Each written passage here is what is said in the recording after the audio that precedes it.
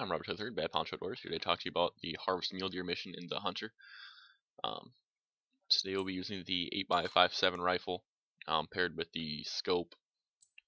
Um, we'll also be grabbing the bleat and grunt call, um, though I believe the grunt isn't entirely necessary. Um, we will be spawning at the South Lodge and Loggers Point, which is the field lodge.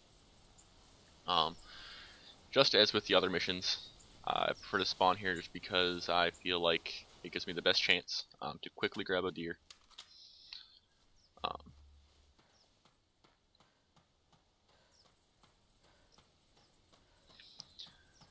from here on out, um, the game can take you various ways, but um, I usually end up getting my, my mule deer within oh, 10 minutes. Um, if not, usually I'll jump out and jump back in.